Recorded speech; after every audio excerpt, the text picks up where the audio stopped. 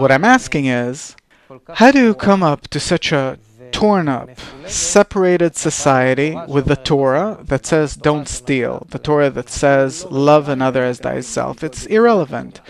The reception of the Torah was after the Egyptian exile, where all of our evil was revealed, called Pharaoh, and we discovered the horrible darkness between us, and we were in, as it's written, the 49 gates of impurity. And then we merited the revelation of the force of correction, the force of the Torah.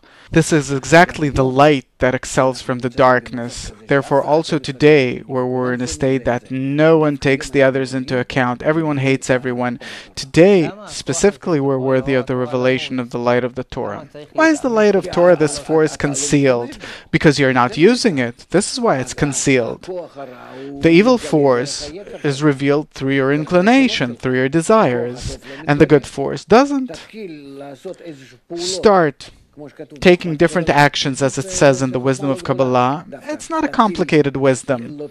Start deriving the good force out of its hiding to revelation, and you'll see how suddenly you have two forces, minus and plus, bad and good, and you can balance them and live in a world where you're boss over everything you do, and you will see a world that is completely open.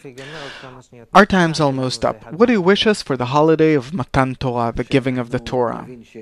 For us to understand that the Torah was given and that each and every day a person has to say that the Torah is given, but it is upon us to reach the reception of the Torah, to receive the Torah. This is what we're lacking.